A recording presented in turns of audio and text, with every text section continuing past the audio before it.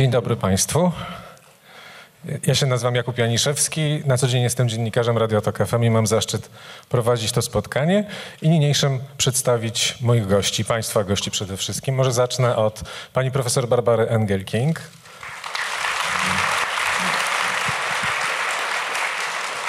Oraz tak trochę przeskakując kryterium płci pana profesora Jana Grabowskiego, bo to są główni twórcy i em, inicjatorzy tego badania i tej książki, o której za chwilę będziemy mówić. Przede mną leży tylko pierwszy tom, ale to już pewnie państwo wiecie, że to jest ponad 1600 stron. Idąc dalej, Karolina Panc.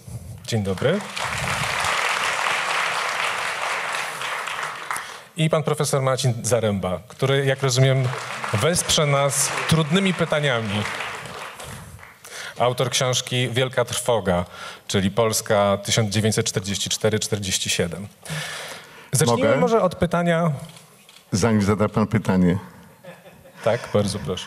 Też się przedstawię, nazywam się Zygmunt Stępiński, jestem zastępcą dyrektora Muzeum Historii Żydów Polskich.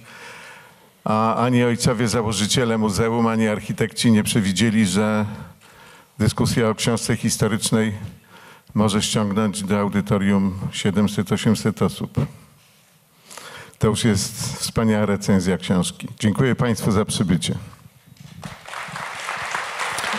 Dziękujemy bardzo. Może zacznijmy od początku, czyli od samego badania. Badania, które miało bardzo specyficzny tytuł, który nie uchował się na okładce, a myślę, że warto przez moment o nim porozmawiać, bo to były strategie przetrwania Żydów w wybranych powiatach okupowanej Polski. I to słowo strategie, ono już niesie ze sobą pewne i wątpliwości, i pytania, i warto od niego zacząć. Dlatego, dlaczego strategie? Kto z Państwa? Pani profesor Angelki. Strategie, bo to dobrze brzmi, ale jak zaczęliśmy się przyglądać tym strategiom, to prowadziliśmy długie dyskusje między sobą, czy to jest właściwe słowo. I zaczęliśmy coraz bardziej w miarę postępu naszego, naszych badań dostrzegać, że strategie mają charakter umowny, znaczy słowo strategie ma charakter umowny, dlatego że y, w zasadzie, mówiąc strategię, mamy na myśli to, że ktoś ma wpływ, że planuje, że ma jakiś wpływ na przebieg wydarzeń, których ta strategia dotyczy, że, że, że postępuje według jakiegoś planu. Natomiast w wypadku Żydów, którzy, którym udało się uciec w czasie akcji wysiedleńczych, a później szukali możliwości przeżycia, trudno jest mówić, że oni byli, mogli realizować jakiś plan. To znaczy ich możliwości przetrwania były uwarunkowane w bardzo dużym stopniu okolicznościami zewnętrznymi, w każdym z badanych przez nas powiatów trochę innymi, w wielu punktach wspólnymi. I ta strategia to zawsze była taka dynamika między możliwościami, okolicznościami, tym, kogo się spotkało na swojej drodze, a z drugiej strony wolą przeżycia, determinacją, odwagą, refleksem, szybkością reagowania. Więc ta strategia ma taki, no tak jak wspomniałam, znaczy taki raczej umowny charakter, a nie, a nie dosłowny. A ja myślałem, że pani powie coś bardziej o podmiotowości samych Żydów, bo właściwie coś takiego się zrobiło i to też widać na, w reakcji na tą książkę. To już pewnie państwo mogliście to prześledzić, choćby w artykule w Newsweeku, że w zasadzie rozmawiamy albo o Polakach i o stosunku Polaków, czy ratowali, czy mordowali, a nie rozmawiamy o samych Żydach i o tym, jaka była ich rola, jak oni działali, co robili po to, żeby przeżyć. Pani Karolina, pan bardzo. Tutaj czuję się wywołana, bo byłam jedną z osób, która miała ogromny problem ze słowem strategia. E, właściwie chyba nie użyłam go ani razu w swoim artykule. E, krążyłam wokół tego słowa, używając słów próby, możliwości. I tak naprawdę teraz twierdzę, że powinnam użyć tego słowa. E, biorąc pod uwagę wszystko, co powiedziała pani profesor. Dlaczego? Dlatego, że po pierwsze to słowo przywraca podmiotowość, a po drugie wyklucza bierność. I to jest dla mnie największe odkrycie e, tych badań. tych kilku lat badań nad tym tematem, że naprawdę dostrzegłam niesamowitą aktywność, walkę o przetrwanie tych ludzi, e, strategie budowane tam i wtedy, których często z dzisiejszej perspektywy nie potrafię zrozumieć. Nigdy nie zapomnę e, rozmowy z Niońkiem Bekiem z Nowego Targu, który opowiedział mi najpierw o tym, jak praktycznie na jego oczach zmarł jego ojciec, co się z nim działo, potem o tym, że w chwili wyzwalania obozu był na stosie trupów i tylko ktoś przypadkowy dostrzegł, że jednak żyje. I zaraz potem w kolejnym zdaniu powiedział mi, ale wie pani co, ja nigdy nie żałowałem, że w tym 40 roku wróciłem nielegalnie, przepływając przez San z Rosji Sowieckiej. Dlatego, że przez dwa lata mogłem żywić moją matkę i siostrę. E, I wtedy zrozumiałam, że tak naprawdę nigdy nie będę w stanie zrozumieć wyborów tych ludzi i zdecydowanie słowo strategia jest jak najbardziej usprawiedliwione. Działali tam i wtedy w warunkach, jakie mieli. Czyli strategia zawsze jakaś była, nawet jeżeli może nam się to wydawać wątpliwe, tak? Tak, każda decyzja pewnie była strategią, aczkolwiek y, nie mogli planować jej z wyprzedzeniem, ponieważ cały czas coś tracili. I tu jeszcze pozwolę sobie dodać, oczywiście pewnie Państwo się już domyślają, że pani Karolina Panc jest autorką rozdziału o powiecie nowotarskim, ale warto tutaj też odnotować, że są z nami, są na sali autorzy innych rozdziałów. Tych rozdziałów jest dziewięć i to jest może w kolejności, tak jak to zostało ułożone w książce, pani Alina Skibińska, Jean, tak jest, prosimy o brawa, Jean-Charles Szurek i to jest powiat łukowski, Anna Zapalec, która pisała o powiecie złoczowskim. Pan Dariusz Libionka, który pisał o powiecie miechowskim. Nie ma z nami pana Tomasza Frydela, który pisał o powiecie dębickim. Jest w Toronto, ale też brawa dla niego. I pani Dagmara Swałtek-Niewińska, powiat bocheński. I za chwilę za chwilę, krótszą bądź dłuższą, z pewnością wszystkich tych autorów tutaj jeszcze powitamy na scenie, ale to za moment. Na razie wróćmy jeszcze do strategii, profesor em, Grabowski. Powiem, to, że ta książka to, było, to był kawał naszego życia, trzeba powiedzieć. W równej mierze autorów poszczególnych rozdziałów, jak i redaktorów ogólnych.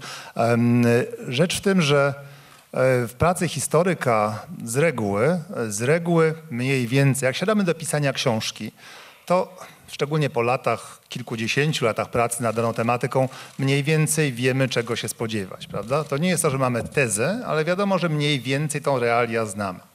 E, I e, w tym wypadku, w wypadku tego ogromnego takiego, tych mikrostudiów, które się rozrosły, nie można, znaczy to, co dla mnie było ciągłym, ciągłym zdziwieniem, to było to, jak ja wiele nowych rzeczy się musiałem dowiedzieć i jak ja często musiałem zmieniać swoje wcześniejsze założenia.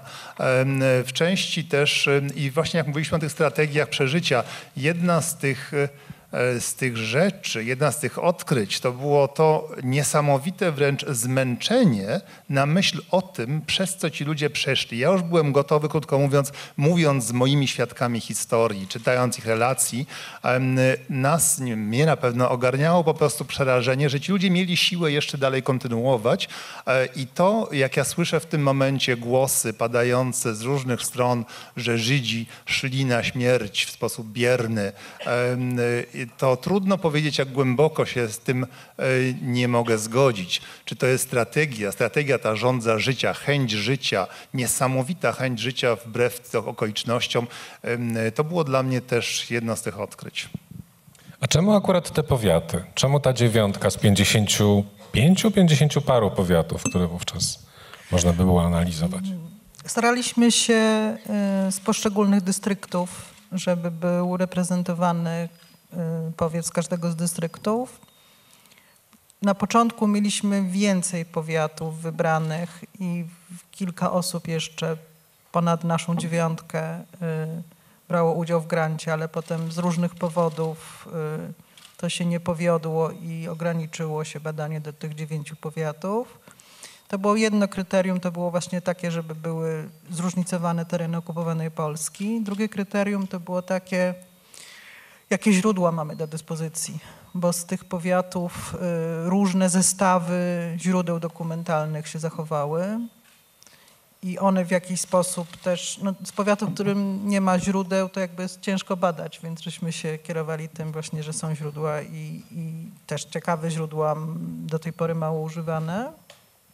Jakie jeszcze mieliśmy powody? E, No chociażby to, że rzeczywiście to, o tym mówiliśmy parokrotnie wcześniej w prasie, więc ja mam takie, nie, nie chciałbym Państwa tutaj nudzić powtarzając te same rzeczy, ale e, podstawową kwestią było też wyjście poza tą Polskę wielkomiejską. To znaczy to jest to, żeby, że my często patrzymy na, na zagładę naszych żydowskich współobywateli e, z punktu widzenia getta warszawskiego, krakowskiego. To nie były miejsca reprezentatywne, tam mieszkała mniejszość polskich Żydów, ten widok Żydów za murem to był widok stosunkowo niewielkiej grupy, pomimo liczby dla Warszawy znacznych. Typowe, typowe getto to było getto, gdzie jedyną granicą między Polakami a Żydami była granica istniejąca w umysłach ludzkich. I o tym my często to zapominamy, że te getta, te małe getta, które my badamy, w których, w których żyła i ginęła przeważająca, ogromna większość e, polskich Żydów, to były getta, które były otwartymi gettami, prawda? Mm, I to wprowadza kompletnie jeszcze inną tematykę, e, której tu nie będę otwierał. E, Także to był jeden, to był kolejny z, nasz, z, naszych, tych, e, z naszych kryteriów. To właśnie wyjście poza wielkie ośrodki miejskie, poza wielkie getta, które dość dobrze jednak znamy. No i w- ten sposób uzyskaliśmy proszę, jak, jakąś tam próbkę, która zezwala nam po, na poznanie, poznanie życia i śmierci tych Żydów w terenach bardziej prowincjonalnych i, e, oraz na terenach wschodnich, to jest oddzielny temat jeszcze. Ale pan użył teraz bardzo ciekawego słowa. To nie było reprezentatywne odnośnie Warszawy czy Krakowa. Co w ogóle jest rep- reprezentatywne? Czy da się coś uogólnić z waszych badań? Czy macie takie poczucie, że można coś podciągnąć pod taki poziom makro i powiedzieć, ta Polska i, i Żydzi, polscy Żydzi, to była właśnie taka historia i tak, jakieś takie uogólnienie sprzedać tutaj efektownie. Czy to się daje zrobić? A pod warunkiem, że efektownie. Może być i nieefektownie. E, tak, da się uogólnić. Da się uogólnić cierpienie, samotność, rozpacz, e, strach, odpowiedzialność za bliskich, tęsknotę, gotowość do poświęcenia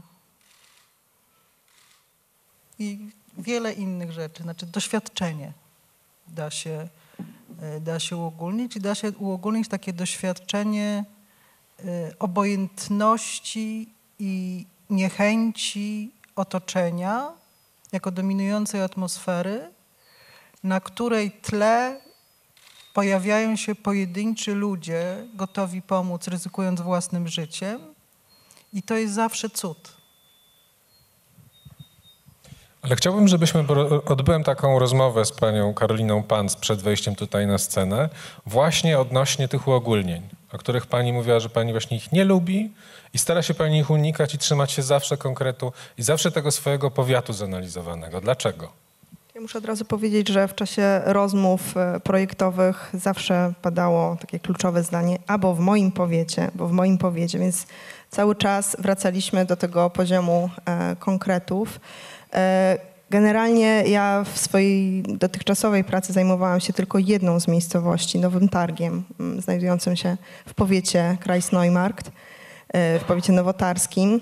I tak naprawdę widzę, że ta jednostka powiatu była dla mnie ogarnialna. E, Dlaczego? Dlatego, że e, staram się opisywać te historie, postrzegać te historie poprzez losy konkretnych ludzi i tylko na tym poziomie byłam w stanie wychwycić konkretne nazwiska, osoby, ich losy. E, I reprezentatywność. No, dla mnie zdecydowanie żadna historia, którą poza doświadczeniem nie jest reprezentatywna, ponieważ y, nie mam dostępu do źródeł ofiar, tak? do, do, do relacji tych, którzy zginęli. Więc y, moim zdaniem w przypadku badań nad Holokaustem, zwłaszcza nad, y, nad prowincją,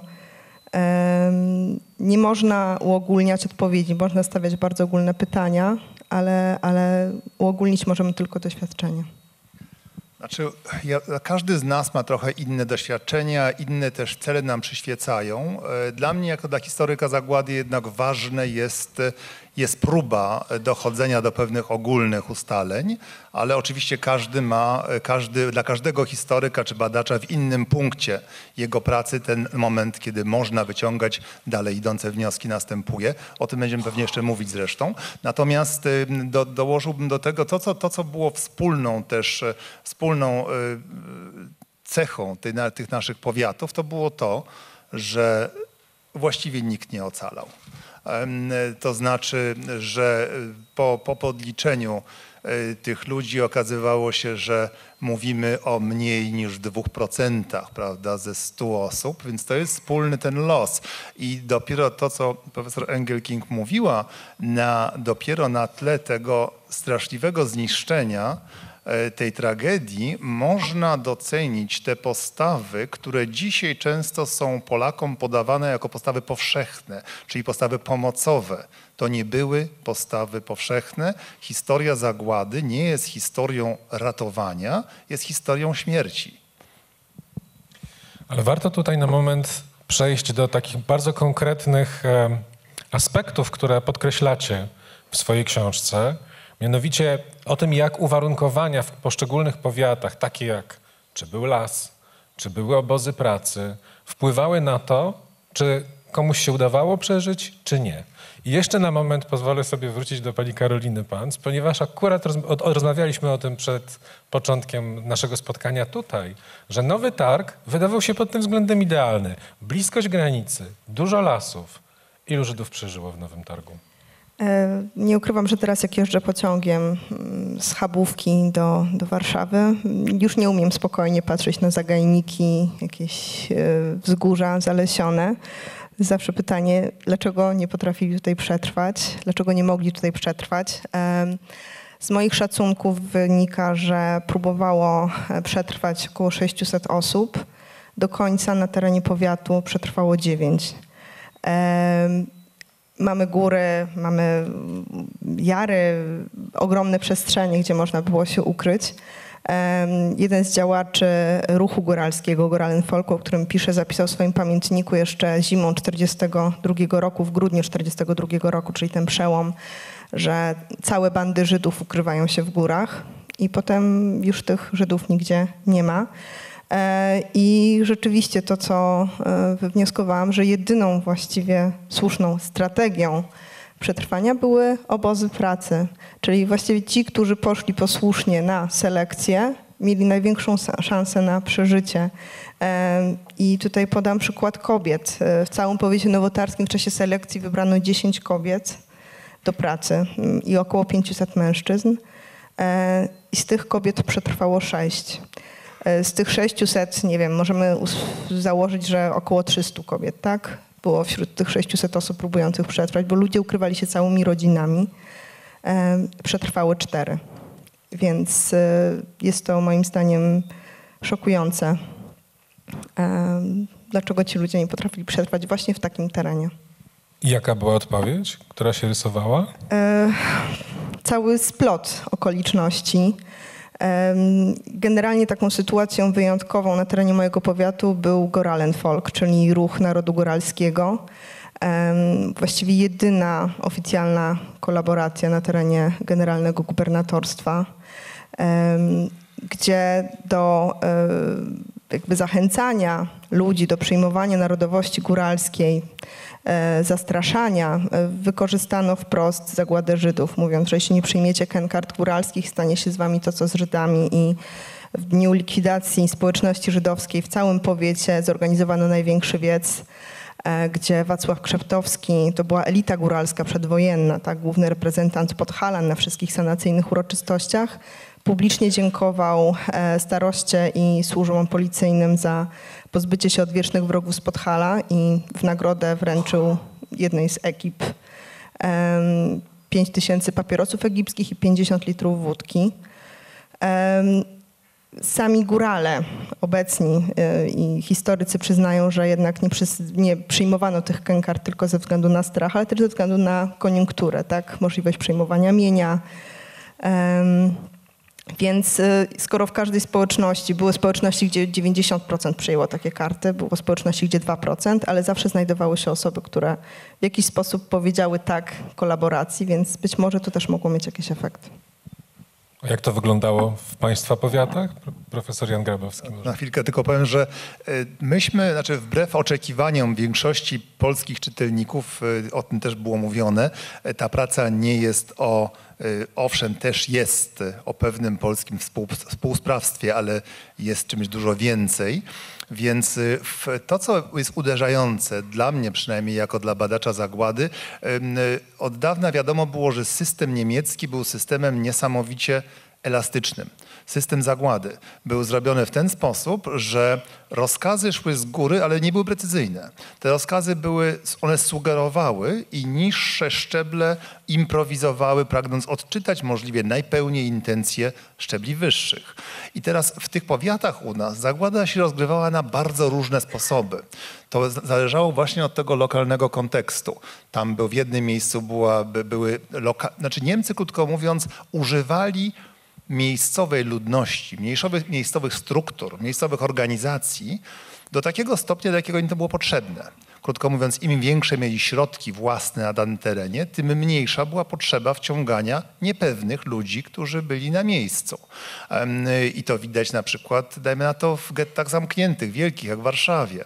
E, Natomiast im mniej było tych sił niemieckich, im mniej było sił ukraińskich, prawda, tym większa rola przypadała ludziom, którzy nie byli w tym celu uformowani. Oni nie byli w tym celu nawet przeszkoleni, prawda? E, i Także na terenie, który ja badałem, akurat duża rola, ogromna rola wobec szczupłości sił niemieckich i ukraińskich przypadła polskiej policji granatowej, przypadła ochotniczym strażom pożarnym i przypadła masie tak zwanych gapiów, e, którzy są oczywiście najtrudniejsi do, e, do podsumowania, do zliczenia, prawda, niemożliwi wręcz. Ale widać w każdym z tych powiatów, że ten scenariusz rozgrywał się na inne sposoby i w jednym miejscu to mogła być polska służba budowlana, czyli junacy, gdzie indziej to mogły być straże pożarne, gdzie indziej e, to mogła być straż, e, ta e, policja granatowa, gdzie indziej wszystkie naraz. I dopiero potem przechodzimy, to jest moment likwidacji get i dopiero potem przechodzimy do właściwej części naszej pracy, czyli to jest co się dzieje z tymi rozbitkami żydowskimi, którzy wyrywają się z tych likwidowanych get i jaką rzeczywistość oni na, na jaką rzeczywistość oni natrafiają. Panie profesorze, może pana byśmy włączyli do dyskusji. Jak, jakie refleksje, kiedy czyta się tą książkę z perspektywy badacza tego okresu tuż po wojnie? Jakie wtedy rodzą się pytania? No, zacznę od y, tytułu, od którego pan zaczął. E, Może warto by przypomnieć, że tytuł bierze się z wiersza Czesława Miłosza zatytułowanego Podróż, datowanego Warszawa 1942. E, Po drugie, chciałem zwrócić uwagę na e, źródła i e, szerokość badania. E, e, hi- historycy zebrani w tym zespole no, przeanalizowali ogrom materiału źródłowego. E, e, całość, jak już padło, liczy 1700 stron, ale nie wiem ile by archiwów, zespołów, relacji zostało wykorzystanych. To jest naprawdę olbrzymia praca e, historyczna. E, e, zwróciłbym także uwagę, że autorzy piszą zupełnie beznamiętnym językiem. Mm, Wstęp Jana Grabowskiego i Barbary Engelking jest pełen informacji, wniosków, ale bez emocji, bez wielkich kwantyfikatorów. I można powiedzieć, że to dobrze, bo autorzy jakby już na autorów e, spadł hejt, mam tu na myśli przede wszystkim Jana Grabowskiego, ale ta pozbawiona e, emocjonalnego tonu narracja e, pozwala zejść jakby z linii strzału i przez to wydźwięk tej książki jest znacznie mocniejszy, silniejszy niż no, taki, gdzie właśnie te emocje by buzowały w, w, na przykład w tym wstępie, prawda? E, Teraz odnośnie do pana pytania. E, To, co się dzieje po wojnie, e, wydaje mi się, jest po prostu konsekwencją e, tego, e, co, co, co Polacy robią w czasie wojny. Można powiedzieć, że pogromy powojenne w Rzeszowie, w Krakowie czy w Kielcach w jakiejś mierze są dalszą fazą Holokaustu.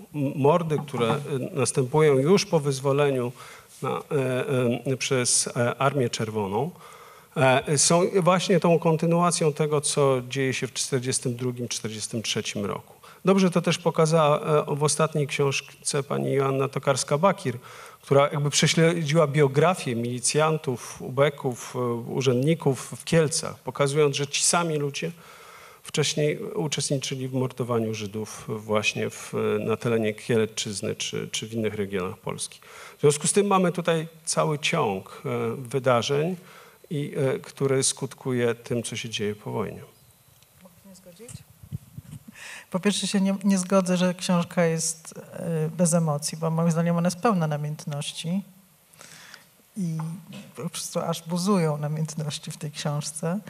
A po drugie jeszcze a propos tych mordów powojennych. e, W powiecie, nad którym ja pracowałam w Bielsku Podlaskim, była bardzo e, intensywna wojna domowa po 1944 roku, kiedy się instalowała nowa władza i y, było tam, doszło tam do kilku czy też kilkunastu morderstw na Żydach. I niewątpliwie część z nich była, tak jak mówisz, nawet taką y, spiralą zemsty nakręconą w czasie wojny, bo była taka historia, że pewni Żydzi zostali wydani przez Polaków i później synowie tych Żydów się mścili na Polakach, Polacy po wojnie się mścili na synach i tak dalej. I to była taka, taka właściwie rodowa vendetta, która tam trwała, ale y, przynajmniej dwie czy trzy ofiary żydowskie powojenne były efektem właśnie wojny domowej. To znaczy to byli na przykład milicjanci, którzy byli mordowani jako milicjanci, a niekoniecznie jako Żydzi. I też po, po, porachunki, y, rabun, rabunkowy mord też był, którym trudno powiedzieć, że on był antysemicki. Jeśli można, y, y, tutaj bardzo istotny jest ten rok 42, czyli likwidacja Gent, to, to ostateczne rozwiązanie. To znaczy, to jest bardzo ciekawe i myślę, że to trzeba by pociągnąć, ponieważ okazuje się, że e, mm, w, na przykład Miechowie i Węgrowie sytuacja jest bardzo podobna. Polacy uczestniczą w mordowaniu Żydów, tak? Ale przed wojną w Węgrowie y, większość głosuje na endecję, a w Miechowie na e, PSL wyzwolenie, prawda? W związku z tym możemy podejrzewać, że oczywiście antysemityzm jest paliwem tego typu zachowań, ale to, to wielkie wydarzenie, nauka okrucieństwa, e, ludzie to widzą, jest e, e, no, taką, nie wiem, iskrą chyba, e, tak to można by nazwać, która e, e, przyzwyczaja ludzi do okrucieństwa i przemocy, prawda? I to jest, e, wydaje się, e, bardzo ważne dla dynamiki tego, co się dzieje i w 1942-1943 roku, a także po wojnie, bo ludzie po prostu wychodzą z bagażem okrucieństwa z, z wojny, prawda? To nie jest tylko, że to jest jedna z tych właśnie niespodzianek. To jest to, że w pewnym momencie mm, y, żeśmy zobaczyli w trakcie tych naszych badań, że wyłania się nam pewna, y, pewne, pewna regularność. To znaczy pytanie jest, kiedy, kiedy to życie żydowskie w oczach tak wielu ludzi straciło jakąkolwiek, jakąkolwiek wartość. I pewną odpowiedzią na to właśnie jest to, co profesor Zaręba powiedział, czyli moment likwidacji get, które się zdarza, te momenty zdarzały się w setkach polskich w końcu miasteczek i wiosek. I to, było, to były publiczne pokazy horroru, gdzie z premedytacją Niemcy mordowali na oczach wszystkich, w wypadku Biłgoraja do połowy ludności getta.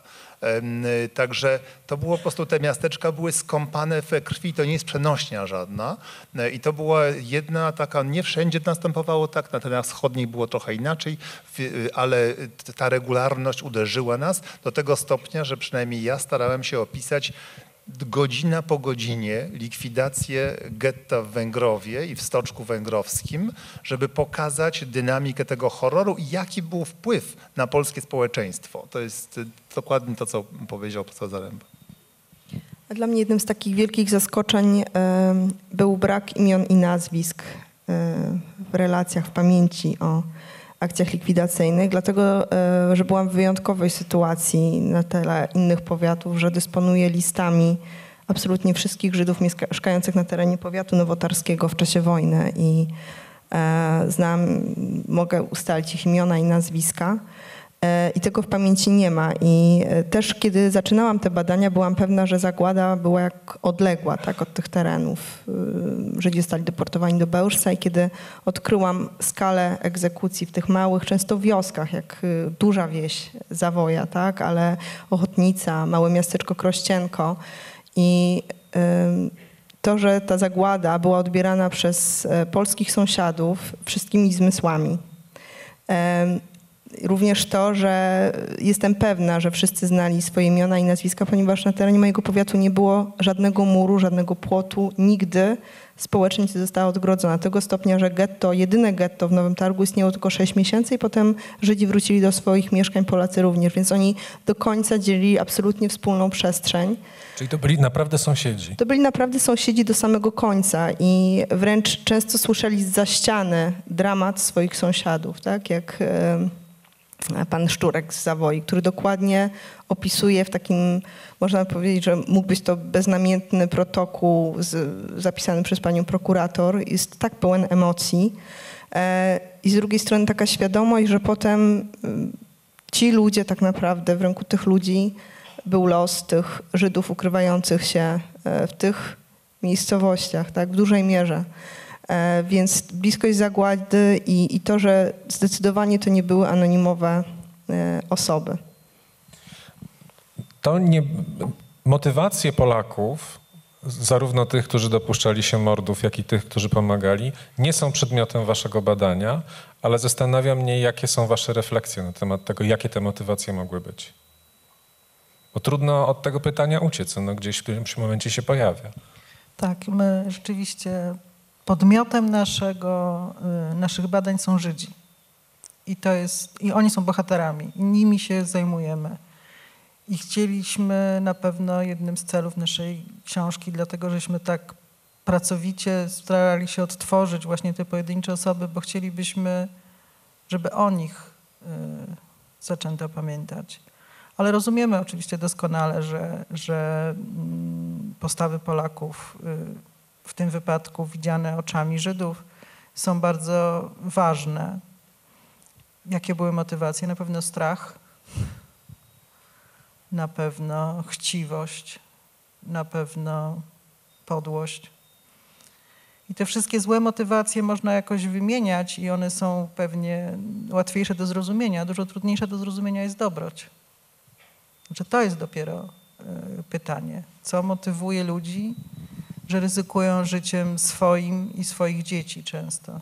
Ja miałam na przykład na terenie powiatu Bielsko-Podlaski kobietę z, y, samotną, wdowę z siedmiu, ośmiorgiem dzieci, która przygarnęła żydowską dziewczynkę. Dlaczego? Znaczy, to, to, jest, to jest dla mnie Ale właśnie niezrozumiałe. Bo nie mamy do końca odpowiedzi. Próbowaliśmy nawet zadać sobie pytanie, kto ratuje nie ma odpowiedzi. Są pewne jakieś, y, nazywamy to, o, o, o, powiedzmy sobie, znaki zewnętrzne, które nazywamy w naszym gronie domek, domek na skraju lasu. To znaczy ludzie jakoś tam wykluczeni ze swojej wspólnoty są bardziej e, przypuszczalnie, chętnie niosą tą pomoc ludziom, których lepiej rozumieją. E, natomiast też to, te chatki pod lasem są chatkami, w których najczęściej się szuka też tych Żydów. Także szanse na przeżycie są, e, są nie takie e, są nie takie, nie takie wielkie.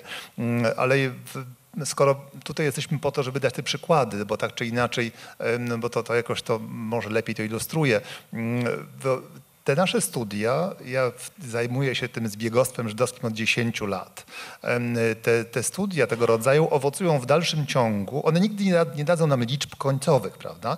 E, bo y, po każdym takim artykule czy książce wysypują się ludzie, którzy wiedzą więcej, którzy, o czym pojęcia nie mieliśmy. Ważne jest, że jakiś ten schemat mamy opracowany. Natomiast y, teraz już skończyłem, postawiłem kropkę nad i, zakończyłem pracę kilka miesięcy temu i do moich drzwi w Ottawie, do mojego gabinetu zapukał e, pan 90-letni motel Cyranko z Montrealu, e, który się, o którym wiedziałem, że przeżył, ale nic więcej nie wiedziałem. E, I on mi opisał, jak to pod Łochowem się ukrywał i dopadł go kolega ze starszej klasy. o dwa lata wyżej, zdając no, koledzy, no, trosz, troszkę starszy, o rok starszy czy dwa, schwytał go i jako, że motel był dzieckiem wątłym, wtedy dziewięcioletnim, e, zaciągnął go na żandarmerię i oddał go w ręce żandarmów. A żandarmi byli tego dnia leniwi, nie chciałem się rozstrzeliwać, dali mu kopniaka i wyrzucili go stamtąd. I e, pytanie jest, dlaczego ten kolega go wydał w ręce żandarmów? On nie wie. Pozwolę sobie na taki krótki cytat ze wstępu, to jest strona 37. Z przeprowadzonych badań jednoznacznie wynika, że na interesujących nas obszarach, z wyłączeniem powiatów bielskiego i złoczowskiego, zdecydowana większość próbujących się ratować Żydów na podstawie przebadanych i zweryfikowanych przypadków zginęła z rąk polskich, bądź też została zabita przy współudziale Polaków. Chciałbym, żebyśmy lepiej zrozumieli, jak Państwo badaliście te poszczególne losy, bo to jest jednak bardzo istotne. Ja wiem, że trochę zanudzam metodologią, można powiedzieć, że ziewa się od tego, ale to jest tutaj fundament. Czyli jak chodziliście, jakimi ścieżkami, jakimi sposobami wysnuwaliście, czy odtwarzaliście te losy poszczególnych osób?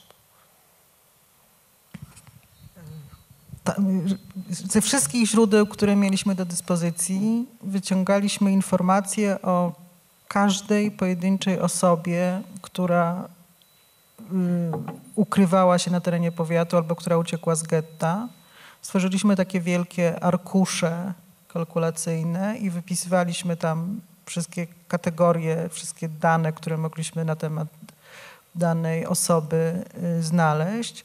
To nam było potrzebne również dlatego, że dzięki temu mogliśmy weryfikować te osoby, to znaczy w jakiejś relacji na przykład występuje osoba pod konkretnym imieniem i nazwiskiem i są podane data urodzenia czy rok urodzenia i okoliczności śmierci, a w innej relacji występuje osoba, ciotka Motka albo siostra Motka, której nazwiska nie znamy, ale na przykład rok urodzenia i okoliczności śmierci są te same.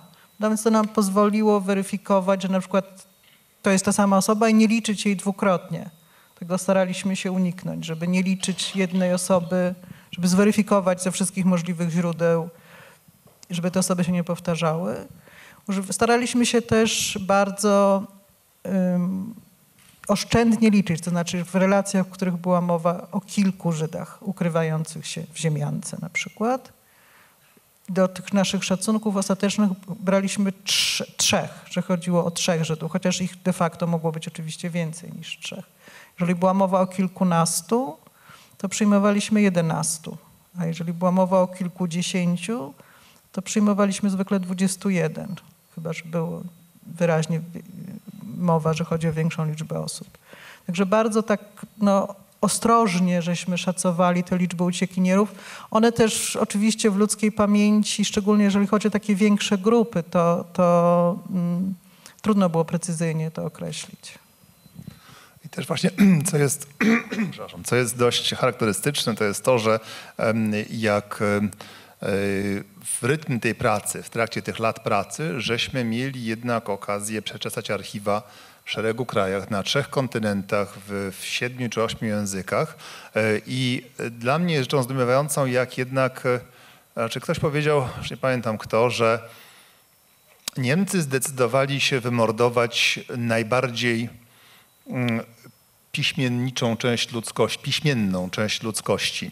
E, Jednak pomimo tego, pomimo tej całości zagłady, ginący Żydzi wiedzieli, że dzieje się z nimi coś, co w historii ludzkości jest zjawiskiem wyjątkowym i nakłada na nich pewien obowiązek rejestracji tego faktu. Dlatego zdumiewająca jest jednak liczba tych e, świadectw, które dokładają się i umożliwiają zejście ta mikrohistoria, którą robiliśmy, tutaj przykładem dla mnie była zresztą moja koleżanka Claire Zalk we Francji, która robiła tego rodzaju badania, prześledzenie właśnie tych trajektorii indywidualnych, które powielone przez tysiące razy przekładają się na pewne jednak, e, powiedzmy sobie, no, no, umożliwiają nam pewne uogólnienia. Panie profesorze, tu na Marcina Zarębę patrzę. To się często tak robi? Taką mikrohistorię się stosuje, czy tylko w uzasadnionych wypadkach? Kiedy historycy zadają sobie aż tak wiele trudu, żeby poszczególne losy? Nie, to nie jest, to nie jest y, rzecz y, nagminna, jeśli chodzi o badanie PRL-u, to wyjątkowo rzadkie, tak? E, Wydaje mi się, że ta praca jest pod pewnymi względami wyjątkowa, to znaczy trudno mi wskazać o e, podobny zakres, podobną głębię w poszukiwań e, źródłowych, e, podobną pracę, którą, do której można by to porównać. Więc pod tym względem można powiedzieć, że, że nasi autorzy są pionierami. Mimo tego, że w zasadzie mamy do czynienia dopiero z zaczynem takich badań, bo to jest tylko dziewięć Nie, no to, to jest kontynuacja wcześniejszych badań. Przypomnę, że wcześniej były prace Prowincja Noc, czy Zarys Krajobrazu, czy książka pra, e, pana profesora Grabowskiego Judenjagd. W związku z tym to jest jakby kontynuacja wcześniejszych i oni zdobyli olbrzymie doświadczenie i, e, w, w tego typu badaniach. Natomiast nie. Znaczy, ja chciałam tylko powiedzieć, że dla mnie właśnie to ustalanie oprócz tej bazy Excel mm, miał ogromne znaczenie też dla takiej możliwości poznania imion, e, nazwisk i okoliczności czyjejś śmierci, miejsca. I naprawdę są sytuacje wyjątkowe, kiedy dzięki tej pracy też mogłam pomóc komuś e, w ustaleniu losów e, prababki, ojca. E, I myślę, że to jest też szczególny wymiar tych badań, tak? czyli właśnie przywrócenie e, tak jakby pamięci o konkretnych ludziach. Ja mam szczególną taką rodzinę z Zaborni, która w, w sprawie tak zwanej sierpniówce pojawia się jako mm, anonimowa rodzina, e, która zostaje wydana przez e, mieszkańców Zaborni. Jest taki obraz, że te pięć osób jest prowadzonych em, przez ludzi ze wsi, w tym nastolatki na mm, posterunek sił niemieckich. E, I tak naprawdę jedna, jedyna osoba z całej grupy świadków e, wyłamuje się i podaje ich nazwisko. E, Przekręcone, zniekształcone, ale tak jak mówię, dzięki listom byłam w stanie ustalić, że chodzi o grupę, tam była dwójka dzieci, trzy osoby dorosłe, rodzinę Schlimmerów z, Zabor, z Zaborni, tak? Więc to jest dla mnie też niesamowite em, osiągnięcie tych badań, czyli no, przywrócenie pamięci o konkretnych ludziach. Ale rozumiem, że po Nowym Targu się już inaczej dzisiaj chodzi. Kiedy się tak szczegółowe badania zrobiły? Zdecyd- nie, jeśli chodzi, chodzi o atmosferę, czy chodzi o moje myślenie Chodzi o o Nowym pani Targu? sposób patrzenia na... E, Zdecydowanie tak, ponieważ Nowy Targ jest o tyle przypadkiem szczególnym, że nie ocalał tam nikt. E, Nie ma, nikt nie dostał tytułu sprawiedliwego, e, chociaż zginęli dwaj mężczyźni za pomoc Żydom, w tym Andrzej Mazgaj, który przyniósł chleb e, żydowskim więźniom do, do obozu i też jestem bardzo szczęśliwa, że udało mi się ustalić nazwiska 14 osób, które zginęły za pomaganie e, Żydom na terenie całego powiatu. Natomiast w Nowym Targu nie ocalał nikt, a jednocześnie na listach w areszcie e, więzienia nowotarskiego mam 116 żydowskich nazwisk, z których za wyjątkiem dwóch wszystkie osoby zginęły rozstrzelane na nowotarskim cmentarzu, w tym konwertyci podhalańscy. Ja bym dodał do, do tego, że y, po lekturze tej książki możemy chyba dojść do na razie ciągle jeszcze szacunkowej liczby e, Polaków, którzy zginęli e, e, pomagając Żydom. To nie wiem, czy się autorzy ze mną zgodzą, to będzie gdzieś od 700 do 1000, może 1500 e, e, e, osób i to czasami całymi rodzinami, prawda? W tym wszystkim też, należy podkreślić, że choć nasze, nasz, nasz, nasza uwaga była skupiona na dziejach Żydów, to te postawy polskie wychodzą cały czas. I tak jak pani Karolina powiedziała, e, byliśmy w stanie też odkryć, też zwrócić uwagę na bohaterstwo ludzi, którzy byli kompletnie zapomniani, prawda? E, To też jest, to też jest ważną, powiedziałbym, ważnym wkładem tej, tej książki.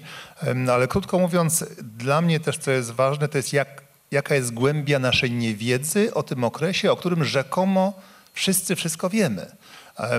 Teraz jak jestem w Polsce, ale nawet jak nie jestem w Polsce, to na każdą próbę polemiczną odzywają się ludzie, którzy, którzy naprawdę nie mają za sobą żadnych badań, ale są głęboko przeświadczeni, że oni posiedli tę wiedzę. E, I na podstawie tych książek widać, jak my niewiele wiemy o tragedii żydowskiej, ale też jak my bardzo niewiele wiemy o losach polskich w tamtym czasie. Że mamy pewien gotowy schemat, pewne, pewne mity, które żyją swoim własnym życiem i które powiedziałbym nawet czują się coraz lepiej z każdym rokiem. Także jeżeli ta książka będzie w stanie tą pewność siebie jakoś, to, to samo też zadowolenie w jakiś sposób osłabić, to będzie też ważne.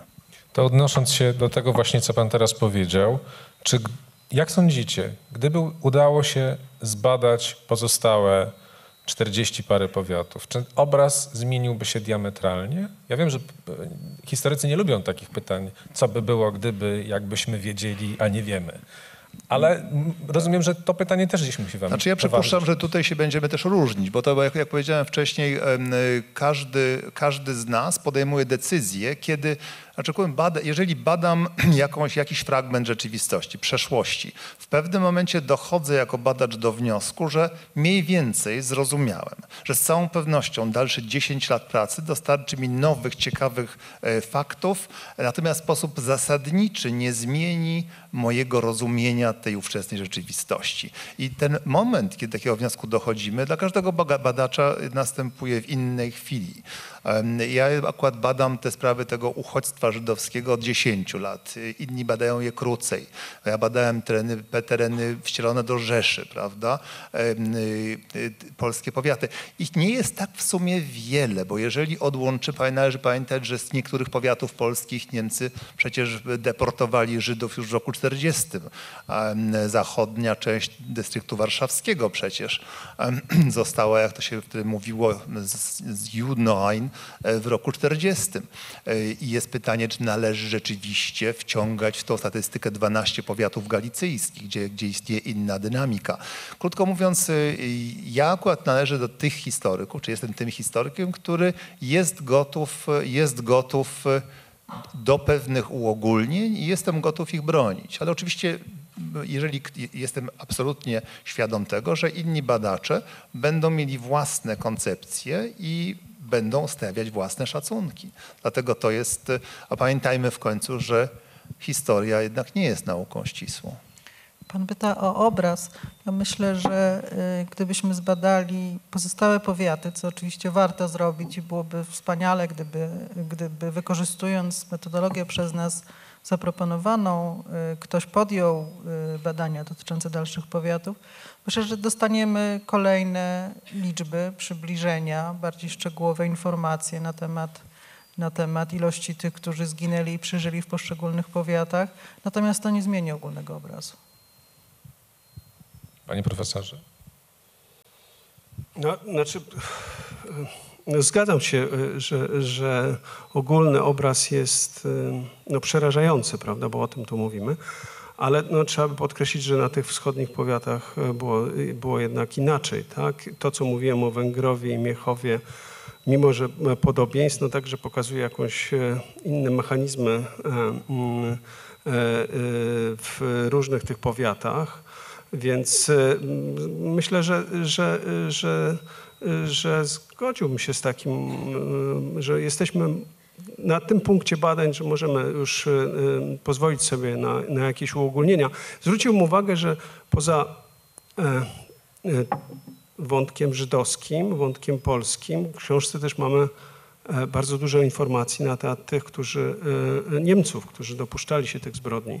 Mm, Autorzy mm, przeanalizowali życiorysy tych osób. Mamy mm, całkiem takie precyzyjne ich charakterystyki, co robili. Więc e, na to też trzeba by zwrócić uwagę, że badania dotyczyły nie tylko samych losów żydowskich, co było najważniejsze, ale także p- pokazania e, sprawców, e, mam na myśli niemieckich sprawców. Myślę, że czas, żebyśmy oddali Państwu głos. Ja sądzę, że przy takiej frekwencji będzie bardzo dużo pytań. Mamy jeszcze godzinę, więc może pora na to, żeby oddać Państwu głos. I czek- czekamy na pytania z sali. Tutaj rozumiem, że są e, Państwo z mikrofonami, którzy mogą udzielić tegoż głosu w bardziej fizyczny sposób. Bardzo proszę. ale jakoś do niego doj- dojdziesz? Dobrze, ja przejdę na drugą stronę. Teraz ja może, przepraszam, może proszę o podanie na razie. Prosilibyśmy, jeśli to możliwe, żebyście się Państwo przedstawiali, to będzie mniej anonimowe i może bardziej. E, Rafał Maszkowski. E, Ja mam takie dwa pytania. E, Znaczy jed- jedno, jak, trochę odchodzące jakby od, od głównego tematu, właściwie jak przebiegała ta, skąd się wziął ten brak pamięci w Polsce? Czy amputacja pamięci, a może w ogóle jej nie było nigdy? E, Oczywiście mam jakieś odpowiedzi swoje, no ale to, to jest duży temat pewnie. A e, drugie pytanie, jak te najnowsze ustalenia wpłyną na e, wystawę Muzeum Historii Żydów Polskich? Czy jest konkretny adresat, czy też tak? No, kto, kto się czuje władny odpowiadać? Może ja odpowiem na drugie pana pytanie, bo tak się składa, że jestem współautorką wystawy w Muzeum Historii Żydów Polskich dotyczącej Holokaustu. I myślę, że y, te badania nie zmienią tego, co, co pokazaliśmy na tej wystawie, bo już pracując nad wystawą wiedzieliśmy, y, co się działo z ukrywającymi się Żydami i w części poświęconej ukrywaniu się pokazujemy przykłady właśnie rozmaitych y, i sposoby ukrywania się i to, jak często to ukrywanie się źle kończy. Także akurat te wszystkie y, aspekty pomocy, zdrady, wydawania i mordów y, na wystawie w Polin już są obecne. A to drugie pytanie, które jest bardzo istotne. Je- czy Tak, no jeżeli tylko o ten brak pamięci, to jest oczywiście pytanie tasiemiec, no, no to nie jestem w stanie nawet e, zacząć, e, znaczy zacząć jestem w stanie, ale nie skończyć. Więc e, ja w wyniku tych badań też wynika jedno, że, że nie było na terenie okupowanej Polski e, nie było ludzi, którzy mogli obok zagłady przejść w sposób obojętny.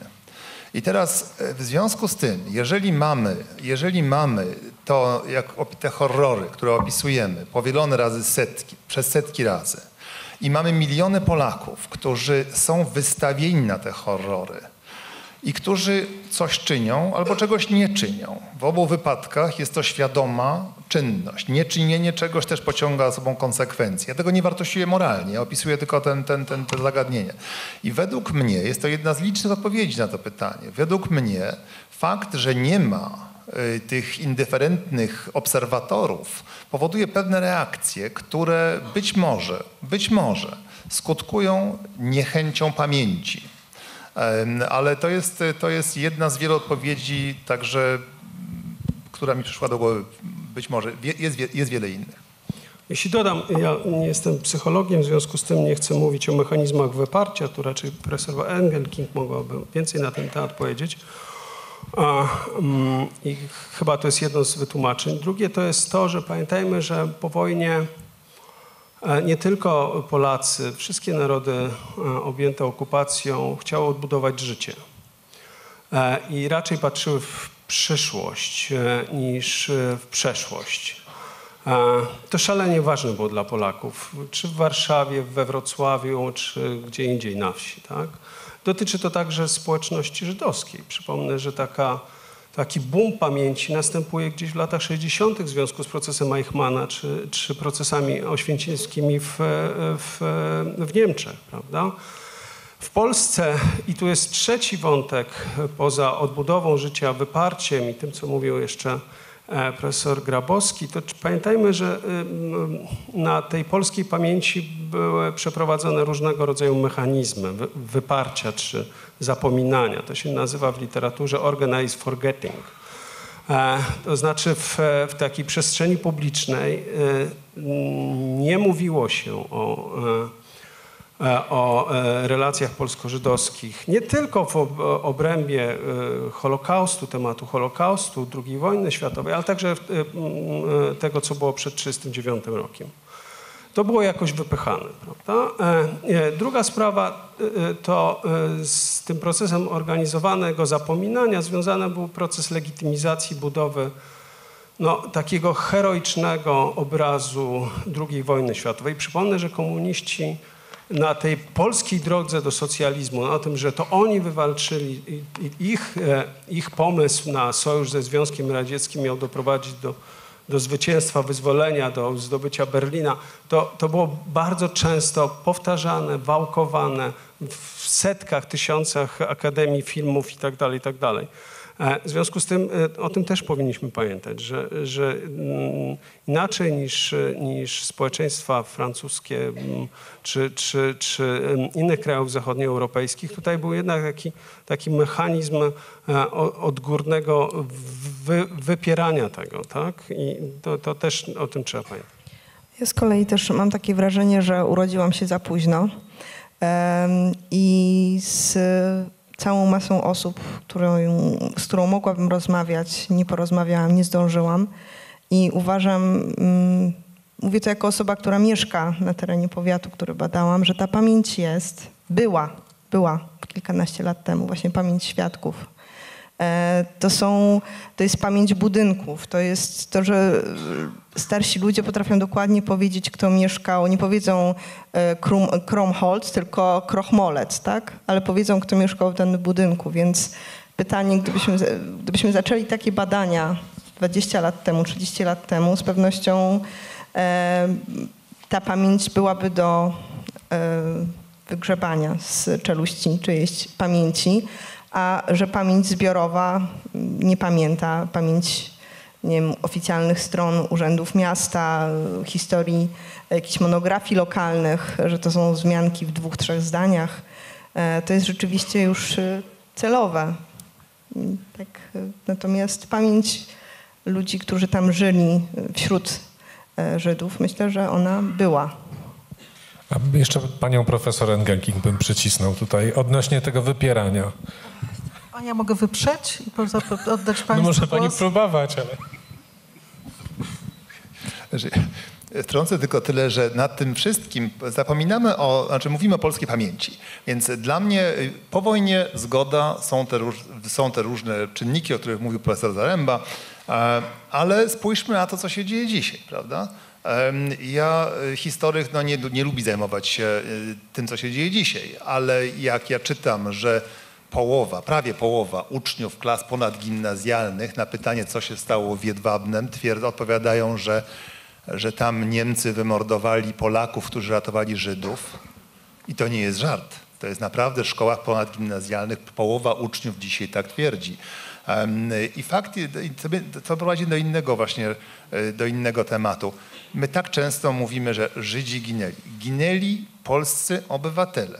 Ginęli polscy obywatele. I w tym dyskursie dzisiejszym fakt, że my zjeżdżamy na pozycje rasowo-etniczne jest niesłychanie charakterystyczny i zatrważający. Przede wszystkim y, odrzucenie wspólnoty obywatelskiej, które było faktem oczywiście lat temu 70 parę, jest w dalszym ciągu faktem. Prosimy tam kolejne pytanie? Dzień dobry, Tomasz Roguski, e, Biuro Badań Historycznych Oddziału IPN w Warszawie. Ja mam pytanie do pana profesora Grabowskiego. E, Z tego, co zdążyłem zauważyć już w książce, pan profesor e, bardzo dużo powołuje się na wspomnienia pana Bielawskiego z Węgrowa. I mam pytanie właśnie o rzetelność tych wspomnień, o to, jak one się mają do relacji pozostawionych po wojnie, czy do tego, co pan właśnie Biela- Bie- Bielawski robił w czasie wojny. Więc w każdym, w każdym, z, tych, w każdym z tych powiatów przeżyło, jak, jak już mówiłem, niewiele, e, niewiele osób. I źródła żydowskie, znaczy Bielawski jest jednym z, jednym z kilku, jednym z kilku świadków, którego wspomnienia są szczególnie może dlatego ważne, że był on członkiem tej wspólnoty żydowskiej bardzo zaangażowanym przed wojną. Był człowiek w miarę zamożny, majętny, e, który czynił zapiski już podczas wojny. Ja akurat mówiłem też z jego synami, ale co jest charakterystyczne, zapiski Bielawskiego są zapiskami, które są potwierdzane w dziennikach żydowskich oraz we wspomnieniach żydowskich z tego samego okręgu i okresu. Także wszystkie te wspomnienia żydowskie trzeba traktować jako źródła historyczne, to podlegają krytyce. I e, ja też takie traktuję. Także jeżeli mamy źródło takie, jakie są wstrząsające, zresztą wspomnienia pamiętniki spisane na podstawie wcześniejszego jego wojennych zapisek Bielawskiego, to warto pamiętać, że, że te zapiski Bielawskiego są, są ulokowane w kontekście innych źródeł, na przykład polskiej prasy podziemnej, prawda? Jeżeli Bielawski, dajmy na to, co jest, jak jeszcze raz wspominam, szczególnie wstrząsająca książka, świadcząca o gehennie tego człowieka, jeżeli jego relacja jest potwierdzona w polskiej, polskiej prasie podziemnej, jeżeli odbicie e, jego słów znajdujemy w kilku zachowanych dziennikach i relacjach żydowskich, jeżeli w końcu znajdujemy niezwykle ciekawe i dokładne potwierdzenie jego, jego relacji e, w, w zeznaniach Polaków e, z akt sierpniowych, to wszystko to skłania mnie do przyjmowania tych relacji jako wartych wspomnienia. Prosimy kolejne pytanie. E, Marcin Święcicki. Ja mam dwa pytania. Jedno takie mm, trochę takie szczegółowe, może jako nie fachowiec, nie historyk, ale jakoś mnie to zastanawia. E, Mianowicie, e, na ile Państwo korzystali z tych wszystkich wykazów, czy jakiś Państwo mówili spisów ludności żydowskiej? Ja rozumiem, że to był jakiś background, to co było przed zagładą. Ale sama zagłada, już potem jak kto zginął, to się opiera wyłącznie na rozmaitych relacjach, które się udało zebrać w rozmaitych e, krajach, czy też tam też są jakieś czasem spisy, nie wiem, e, policyjne, kogo rozstrzelano, czy kto tam był, a potem go nie ma. E, To znaczy o to, chodzi mi o te źródła poza relacjami, jakie źródła były dotyczące samej już zagłady, czy coś, bo to jest ciekawe. Mm, A drugie pytanie, pan profesor właśnie trochę zapowiedział, że na podstawie tych dziewięciu powiatów to właściwie już jest tyle tych informacji, że no pewien obraz taki ogólny się rysuje, że można się pokusić o pewne uogólnienia. Czy pan byłby uprzejmy z się no, podzielić tymi uogólnieniami? Jestem wywołana. Jeśli chodzi o źródła, y, w przypadku mojego dyspo, y, powiatu dysponowałam rzeczywiście listą e, więźniów e, z aresztu grodzkiego. E, Jeśli chodzi o inne źródła, to nie są tylko relacje, y, relacje, dokumenty osobiste, relacje mówione, ale to też są przede wszystkim postępowania prokuratorskie. W przypadku Podhala, to już w 1946 roku zaczęto zbierać materiały dotyczące zbrodni gestapo na terenie Podhala. Em, I, i te losy, to jest bardzo ciekawe, że jeśli chodzi o samą akcję Reinhardt, przebieg akcji likwidacyjnych są bardzo, bardzo precyzyjne. Natomiast świadkowie opowiadają, ale w sposób bardzo ogólny, zanonimizowany o trzecim etapie zagłady.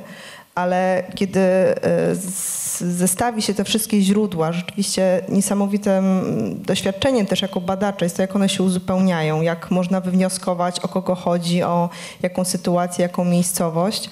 Więc zdecydowanie to nie jest tak, że mm, odtwarzałam ten trzeci etap zagłady tylko na podstawie relacji e, i niestety nie dysponowałam dokumentami e, niemieckimi. To są, mam też dokumenty z archiwów lokalnych, to są na przykład meldunki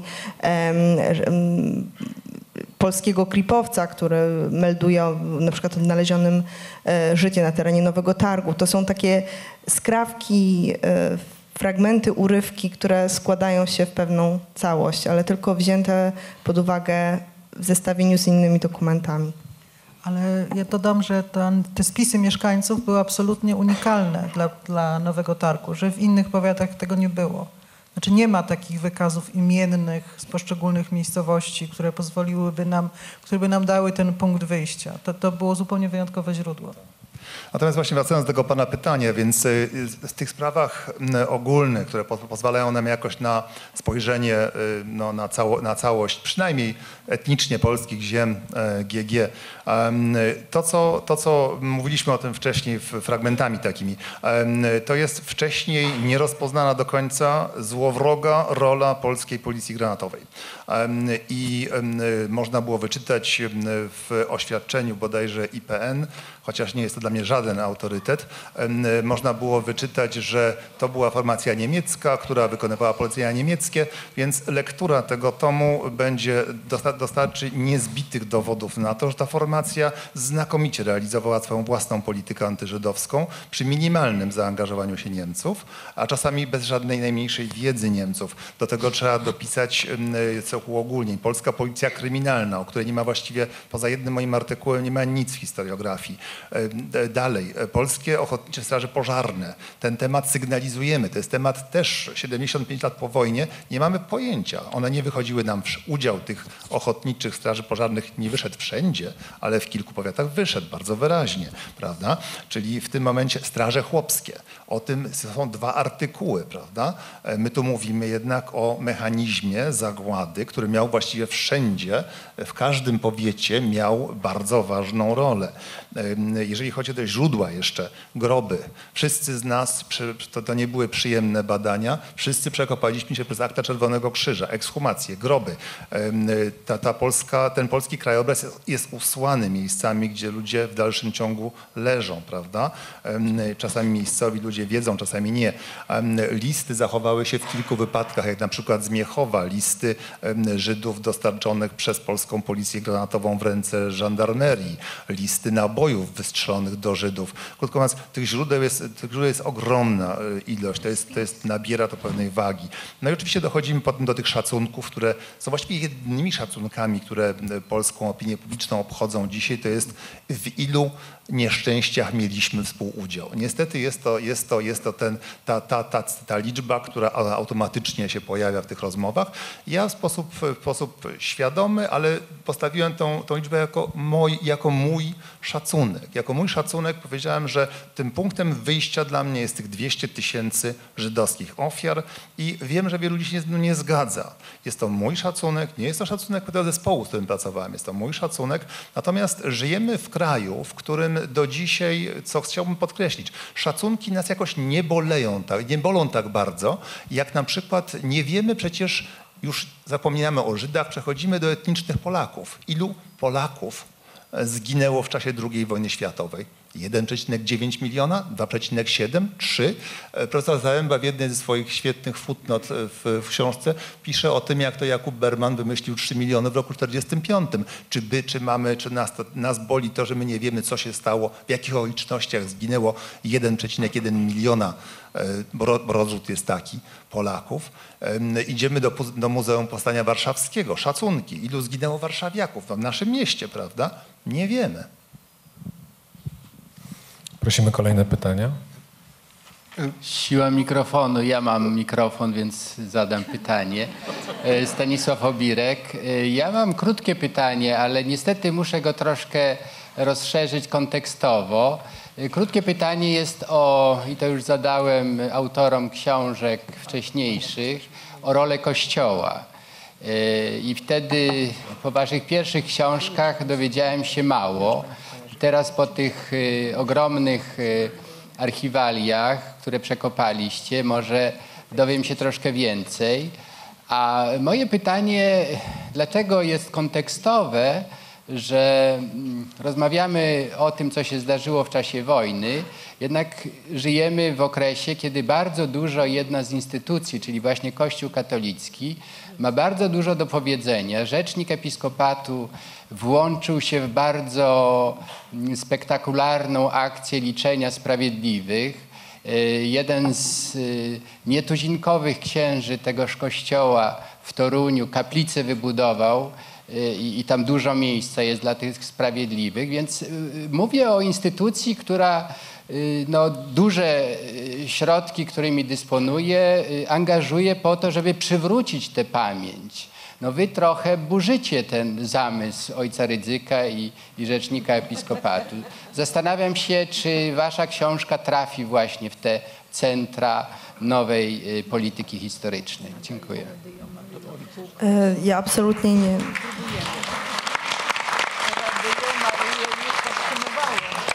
E, Będę mówiła tylko o swoim powiecie i w sposób absolutnie nieciągły, ponieważ e, nie ukrywam też, że pewną inspiracją jest dla mnie książka Młyny Boże profesora Leociaka, który mówi o swoim pudełku i o swoich zapiskach wyciąganych z tego pudełka.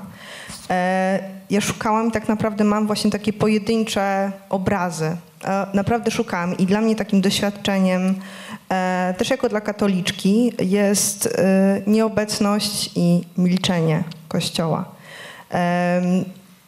To po pierwsze. I teraz tych kilka obrazów, tak? Najważniejszy ksiądz na Podhalu, ksiądz Franciszek Karabuła, był zastępcą prezesa Stronnictwa Narodowego przed wojną na terenie powiatu. I pisał okropne rzeczy, głosił okropne rzeczy do 1939 roku i potem w czasie wojny znika. Wiem, że paradoksalnie przyjaźnił się z kilkoma e, Żydami nowotarskimi. Nie natrafiłam na żaden jego apel, e, nawoływanie do, do ratowania, do pomocy. E, Kolejny taki obraz e, to jest historia Jana Mirka, m, nazywanego w wojennych zapiskach e, kobiety, którą ratował aniołem, który idzie do kościoła m, kilkanaście godzin po tym, kiedy przyjął pod swój dach małżeństwo Winstrauchów i słyszy w kościele, że trzeba ich wydać. I przychodzi płacząc i w pewnym momencie jako człowiek głęboko wierzący mówi nie łamie przecież praw boskich, tylko wredne ustawy hitlerowskie i ratuje ich do końca. Kolejnym takim obrazem jest historia biskupa Małysiaka, który przywozi do Szczawnicy osoby z Krakowa, z domu starców Helclów, e, wśród nich pięć osób pochodzenia żydowskiego. Em, Biskup ma tytuł sprawiedliwego i twierdzi, że wszyscy w Szczawnicy wiedzieli o tym, że on ratuje Żydów, że wśród e, tych pensjonariuszy są Żydzi i są to jedyni Żydzi, którzy przeżyli na terenie Szczawnicy. E, Więc to od razu rodzi się pytanie, gdyby, jak ten potencjał Kościoła nie został wykorzystany. Tak, jeśli wszyscy wiedzieli i chronił ich sam autorytet księdza. No i ostatni taki obraz to los konwertytów podhalańskich, gdzie szacuje, że zginęło przynajmniej 80 konwertytów rozstrzelanych na cmentarzu żydowskim w Nowym Targu. Wśród nich y, głównie kobiety, które przyjmowały chrzest jeszcze przed I wojną światową. I e, mam ślady nawoływania do pomocy, pomocy, e, pomagania tym ludziom przez księży, y, nie tym ludziom, ale ich dzieciom i wnukom. E, Z kolei biskup, e, arcybiskup Sapiecha nie pozwolił na sporządzenie list konwertytów, więc to są takie pojedyncze obrazy i naprawdę jest bardzo trudno prześledzić e, całościowo tę historię. Myślę, że każdy z nas miał ten problem w swoim powiecie. Jak się nie zaangażował, to śladów nie ma. Dalej wyparcie czy negacja? Czy Ja mogę powiedzieć y, na z terenu mojego powiatu, z Brańska miałam przykład taki bardzo pozytywny, takiego księdza Czarnkowskiego, który zarówno w polskich, jak i w żydowskich relacjach jest o nim mowa, jako o tej osobie, która y, na kazaniach nawoływała do udzielania pomocy Żydom. I rzeczywiście w okolicach Brańska więcej niż gdziekolwiek indziej na terenie powiatu Żydów przeżyło. Także to potwierdza to, co mówi pani Karolina, znaczy, że potencjał Kościoła był ogromny, a jak został wykorzystany, no to jakby zachęcamy do badań. Znaczy przede wszystkim trzeba dodać, że właściwie, właściwie żeśmy nie byli w stanie wykorzystać archiwów kościelnych. Y, Są to archiwa, które są archiwami prywatnymi i Kościół z tej prywatności archiwów korzysta oczywiście. E, Pytanie jest, czy byśmy tam coś znaleźli jest bezpodstawne, bo nie wiemy. Em, Natomiast, y, natomiast widać oczywiście gigantyczną, wielką ciszę Kościoła instytucjonalnego i widać rozliczne, różne decyzje niższych, e, niższych znaczy e, kleru na niższych szczeblach, e, tak jak to wspomniała pani e, Karolina. Natomiast to, to, co często się wyłania, co można jakoś tam kwantyfikować, to jest e, żydowski, nazwał, nazwałbym to żydowskie przerażenie przed niedzielą. E, Mówię tu o Żydach ukrywających się, dla których jeden dzień w tygodniu był szczególnie niebezpieczny. Nie dla wszystkich, nie wszędzie, ale dla wielu. W wielu miejscach. E, Dlaczego? Dlatego, bo wtedy właśnie gospodarze wracali z kościoła bardzo, w bardzo złym humorze. Prosimy o kolejne pytanie. Tym, tym razem pytanie od historyka e, Bruno Kamiński, aczkolwiek e, pytanie nie historyczne, a bardziej o pytanie o proces, którego mam nadzieję e, to spotkanie tutaj jest początkiem. Takie mam pytanie, to jest oczywiście zupełnie, dzisiaj jest dzień premiery tej książki, ale pytanie jest moje o poniekąd w nawiązaniu do, do tego, o co pytał profesor Obirek, czyli o o przedzieranie się z, z, z, rodzaju, z, tym rodzajem świadomości, która ta, ta, książka przynosi. Czyli pytanie o to, czy docierają do autorów tej, tej książki już jakieś sygnały o tym, że najzwyczajniej w świecie jest przestrzeń na, na, debatę, która być może w jakiś sposób zacznie, bo nie, nie uda się, że od razu przebuduje, ale zacznie przebudowywać pa, pa, pamięć i ogólne postrzeganie tego aspektu naszej historii. Profesor Grabowski był bardzo krytyczny wobec polskiej pamięci teraz, ale ja bym zwrócił uwagę na to, że bardzo dużo źródeł, z których korzystają nasi autorzy, to są e, lokalne prace historyków, pasjonatów, e, którzy e, starają się dociekać, jak było w ich miejscowości i e, ten, nie wiem, pęd czy ten, ten nurt należałoby dostrzec e, w, w społeczeństwie polskim. Tak? To nie jest tak, że że zupełnie nic się nie dzieje, tak? E, czy jest e, przestrzeń dla debaty? No chyba Państwo sami wiecie, prawda, że niewielka. E, ja prze, zrobiłem taki research w prawicowych portalach, to na razie jest cisza wokół, wokół E, tej książki był e, jeden, e, jeden, jedna taka recenzyjka raczej niż recenzja w, w polityce.pl i to, to na tyle to wszystko. Tak? Myślę, że to jest ważne, że ta książka jest tak, mm, tak źródłowo, tak metodologicznie bardzo dobra. W związku z tym trudno, e, trudno podważać fakty, o których, piszą, e, o których piszą autorzy.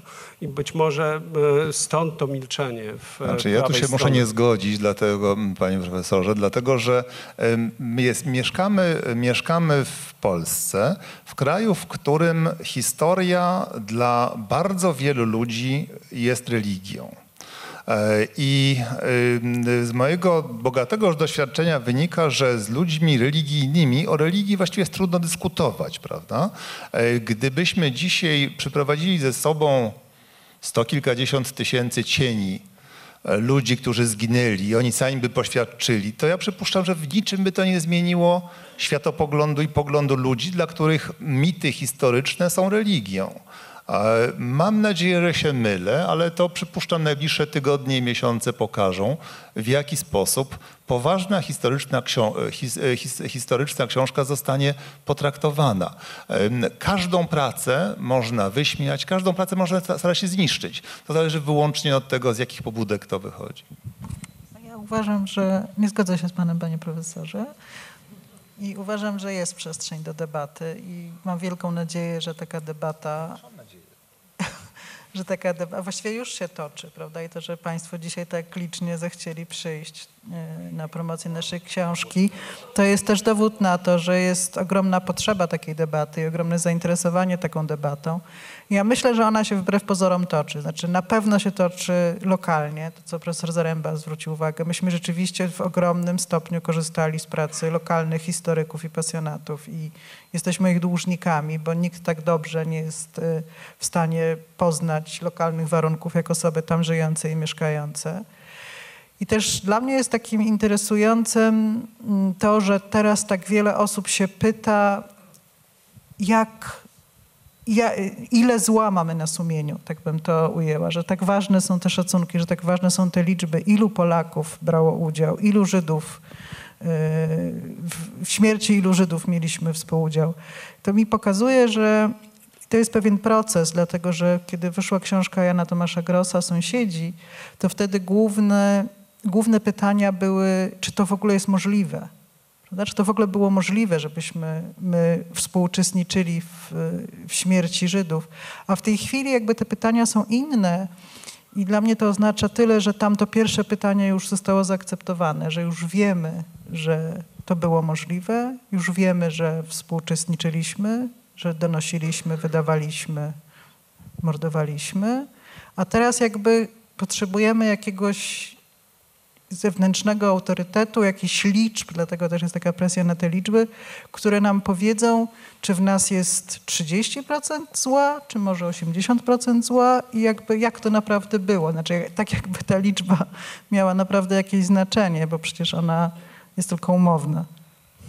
Jeszcze chciałam tylko dodać z podhalańskiego podwórka, że uważam, że jest przestrzeń do debaty, ponieważ e, zostałam poproszona chociażby o promocję lokalną tej książki na Podhalu i tak samo ma być promocja w Biłgoraju.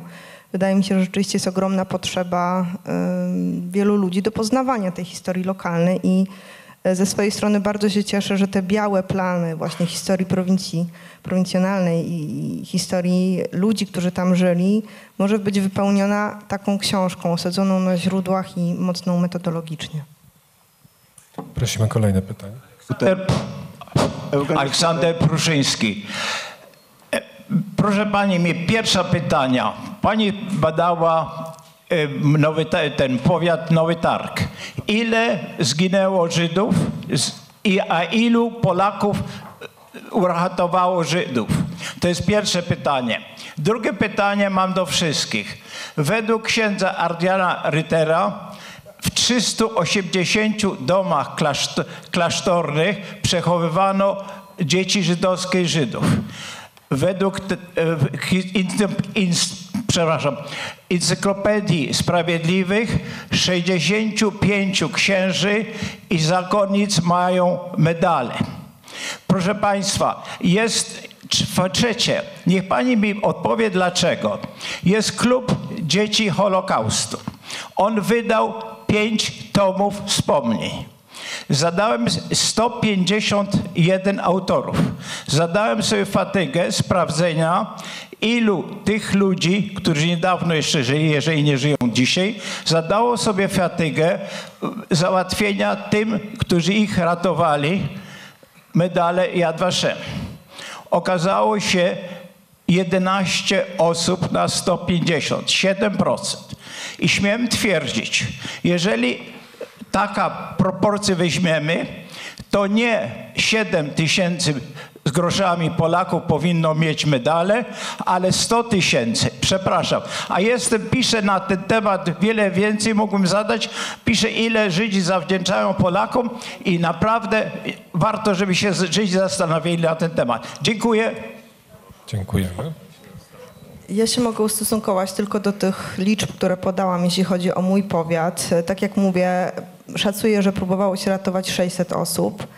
E, Na terenie powiatu do końca przeżyło 9. 26 opuściło teren powiatu, zazwyczaj pierwszej zimy e, na Podhalu i te 26 osób przeżyło poza powiatem. E, Nie jestem w stanie bez czego zapytać znacznej większości osób, od kogo otrzymywali pomoc i z czyich rąk zginęli, za sprawą kogo. Tak jak piszę w swoim artykule, w żadnych zeznaniach polskich świadków, żydowskich świadków nie natrafiłam na ślad przeczesywania lasów, tych zagajników e, górskich e, łańcuchów przez e, służby niemieckie. Mówię o strażach chłopskich, mówię o grupach podających się za straże chłopskie. Mam tylko dziewięć osób i e, w tym kilka relacji, tak, jeszcze rozrzuconych. I zazwyczaj była to pomoc otrzymywana od pojedynczych osób. Ja wyraźnie e, to piszę u siebie. Nie istniało coś takiego jak podmiot zbiorowy. To były pojedyncze osoby, Jan Mirek, Eleonora Wagner, e, gospodarz Ptaszek, i które e, w sposób systematyczny, długotrwały pomagały tym osobom i umożliwiły im przetrwanie na terenie powiatu. E, Inni pomagali podając chleb. Zginęły dwie osoby za to na terenie powiatu, podając chleb e, ludziom w obozach. Kilkanaście rodzin dostało tytuły sprawiedliwych, ale co jest charakterystyczne, tylko jedna e, z tych, e, przepraszam, dwie osoby z tych e, sprawiedliwych ratowały ludzi z terenu powiatu. Wszyscy inni, którzy ocaleli na terenie powiatu, to były osoby na tak zwanych aryjskich papierach. Z naszych badań też jednoznacznie wynika, że liczba osób pomagających Żydom jest większa niż liczba osób, które otrzymały medale. I to jest to, to żeby otrzymać medal, są pewne warunki do uzyskania tego medalu, między innymi potrzebne są świadectwa Żydów, którzy ocaleli. Często się zdarzało tak, że Polacy pomagali, a Żydzi niestety nie przeżyli i dlatego jest niemożliwe otrzymanie medalu. Natomiast w Pana pytaniu przebiło się wyraźnie powiedzenie o tym, że Żydzi nie są wdzięczni, że Żydzi powinni być wdzięczni. Mogę powiedzieć, że moja serdeczna przyjaciółka mieszkająca w Toronto, 90-letnia dzisiaj Molly Applebaum z domu Weissenberg, e, przeżyła w strasznych okolicznościach i ta kobieta, niezamożna kobieta, od 50 lat co tydzień wkłada banknot 50-dolarowy i wysyła do, najpierw do ludzi, którzy ją ocalili pod Tarnowem, potem do ich dzieci, do ich wnuków, a teraz do ich prawnuków. Także z tą niewdzięcznością żydowską różnie bywa, mi się wydaje.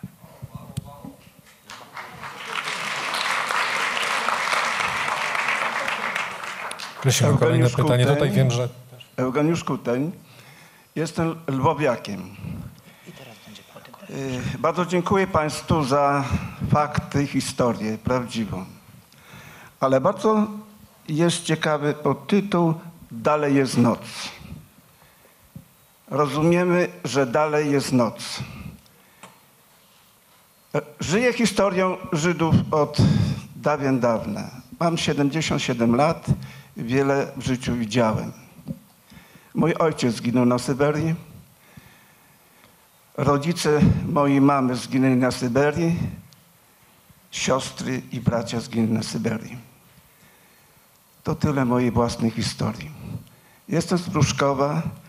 Od kilkunastu lat zajmuję się cmentarzem żydowskim Pruszkowa. Kiedy pierwszy raz podjechałem, płakałem, dlatego że to było śmietnisko, ruina, walące się mury, połamane macewy. Zająłem się, dzięki Bogu, dzięki Bogu jest to wizytówka Pruszkowa. Jest to wizytówka, zna, znają mnie władze Pruszkowa. Proszę wybaczyć, że troszeczkę mówię o sobie, ale żyję historią tu i teraz, tam gdzie mieszkam, tam gdzie mam możliwość. Z młodzieżą szkolną przychodziłem na cmentarz. Przyjeżdżają różnych stron Żydzi, szukają swoich bliskich. Opowiadam ich historię, na ile mówię. Ale dzisiaj się będę kierował Torą, Biblią. Biblią i prawdą chciałbym. Dalej jest noc i widzę, co należy uczynić. I powiem tak, jak pan profesor Birek, Kościół milczy. Ja nie chcę wydeptywać ścieżek do jakiegokolwiek wyznania. Jestem chrześcijaninem, ale nie jestem katolikiem. Żyję historią Żydów. Czytam Torę, Biblię i wiem kraje północy, gdzie leżą. Oczywiście Polska i dawna Polska, Stanisławów, Lwów, Tarnopol. To tyle. I tam, gdzie jestem, to mówię otwarcie. Umiłowanie Boga, jeżeli Pan tutaj mówił, to jest umiłowanie Jego narodu.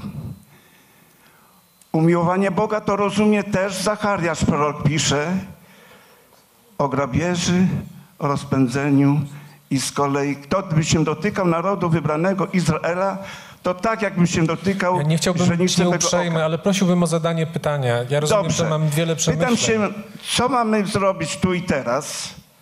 Panów, szanowne grono, słucham. Bar- Bardzo panu dziękujemy za, za to, co pan robi, bo właśnie to jest odpowiedź na, na to pytanie, które wcześniej padło o pamięć, prawda? Właśnie to, co pan robi w Pruszkowie na cmentarzu żydowskim, to mi się wydaje, że wiele więcej nie trzeba.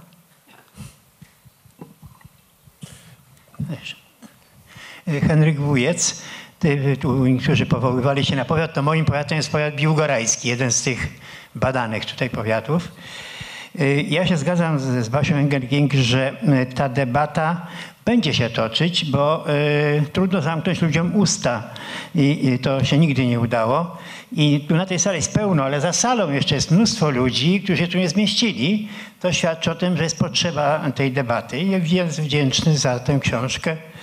I tak jak powiedział profesor Grabowski, mm, to wydaje mi się, że to jest jakby początek pewnego działania, bo przecież jest jeszcze mnóstwo rzeczy do zbadania. Jest ta rola Policji Granatowej, jest rola Ochotniczych Straży Pożarnych, bo też są pewnie, przypuszczam, źródła i materiały, i to jest, y, są już teraz też dalsze badania, ale warto by właśnie y, to kontynuować, żeby poznać, jak to naprawdę było. Ja akurat znam, bo ja jestem z tego powiatu, y, historyjkę drobną, która pokazuje, jak to jest istotne dla uratowania życia, że w takim małym miasteczku Frampol koło Biłgoraja, ja akurat to opisywałem nawet, i była taka piękna historia miłości Polaka do Żydówki, które poznali się w szkole. I on usiłował ją przez ten czas wojny przechować. Ale w 1942 roku, kiedy właśnie mimo tego usiłowania bał się, że zostanie jednak wydana, że znajdą ją, przechowywał ją na jakimś tam strychu. No i koledzy z podziemia zauważyli to i powiedzieli to p- dowódcy policji granatowej w Biłgoraju, który współpracował, Biłgoraju, tylko w Frampolu, który współpracował z podziemiem. I on przyszedł tam z rewizją i on zabrał ich i potem oboje zginęli. Oczywiście to się skończyło tragicznie. A więc ta rola tej policji jest dość istotna w tym miejscu, co ona robiła. Te ochotnicze straże czasami one były na rozkaz wysyłane, ale też było to różnie, także ten cały opis jest niesłychanie istotny. Y, Tym przeżyciem, którym ja pamiętam ze swojego dzieciństwa w tamtym czasie, jakie tam, bo teraz już w Warszawie mieszkam, to jednak dla ludzi na wsi to była pacyfikacja Zamojszczyzny, pacyfikacja wsi biłgorajskich, to znaczy okrążanie przez Niemców całej wsi i wywożenie najpierw do Majdanka, potem kto przeżył, to dalej do Niemiec na roboty.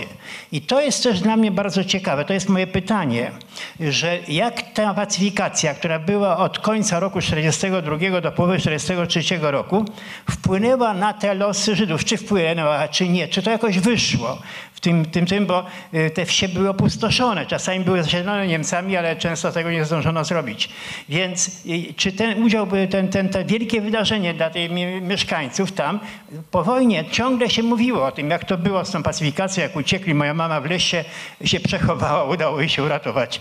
Więc y, to też ciekawe jest y, te pewne szczegółowe takie historie, jak z tą pacyfikacją, jak to wpłynęło na losy ludności żydowskiej. Chcę powiedzieć, że w tym Biłgoraju, którym była raczej taka atmosfera, no raczej niechętna do Żydów, dużo się zmienia teraz. Jest zachowany, jest teraz dbanie o cmentarz żydowski. Jest ławeczka Zingera specjalnie postawiona, bo Zinger pojął z tego, e, jest towarzystwo zingerowskie, więc jest klimat taki korzystny. Oczywiście, że jeszcze jest dużo pracy, no ale te, te prace, te, ta, ta książka i tak dalej, one dają wyniki. Także to chwała wam za to, żeście to zrobili. Dziękuję. To może to jest. Może to jest dobry moment, żebyśmy poprosili pozostałych autorów y, rozdziału. Poczekaj Basia, bo ja coś chciałam powiedzieć. I Alina by odpowiedziała na pytanie o Biłgoraj. Proszę. Powiedz. Nazywam się Joanna Sobolewska, jestem przewodniczącą Stowarzyszenia Dzieci Holokaustu i czuję się troszkę wywołana do odpowiedzi.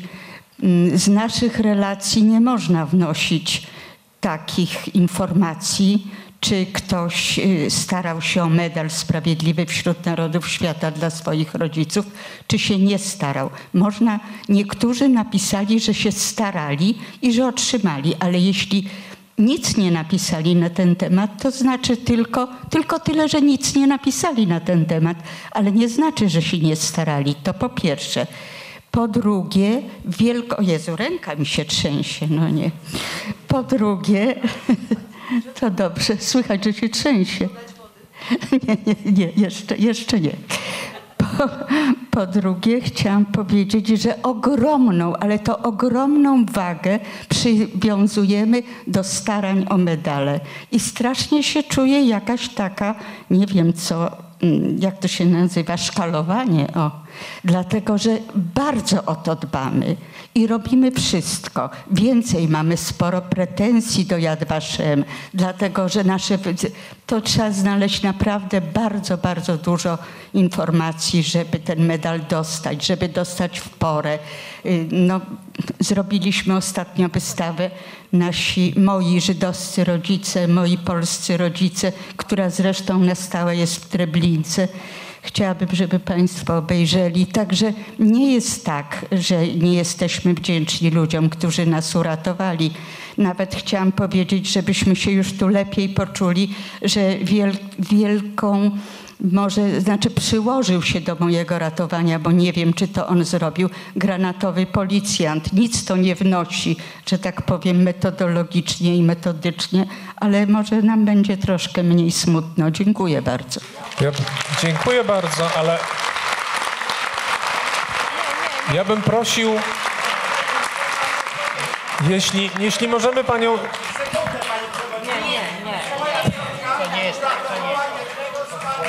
Jeżeli może pan tą dyskusję przeprowadzić z panią we foyer, to byłoby bardzo słuszne, bo to nie jest o tym dyskusja. I chciałem jedno powiedzieć. Moja ciotka uratowała jednego pana Pieńka.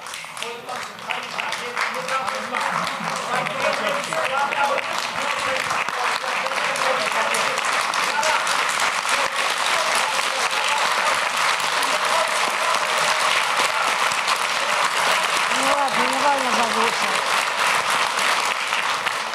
Myślę, że pora, żebyśmy zaprosili na Znaczy, scenę... może ja tylko jeszcze odpowiem panu na jedno, znaczy powiem, nie, nie, ja chciałam tylko powiedzieć, że... Dobrze, to już ostatni głos i Tak, że, kończymy. mojego, że mój ojciec był uratowany przez polską rodzinę ze swoim bratem.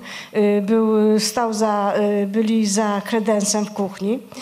I jak y, już, po, jak już było, przyszło wyzwolenie, to ta pani błagała, kazała im przyrzec, że nigdy nikomu nie powiedzą, kto ich uratował. Więc nie mogli jej zgłosić y, y, jako sprawiedliwą. Ja myślę...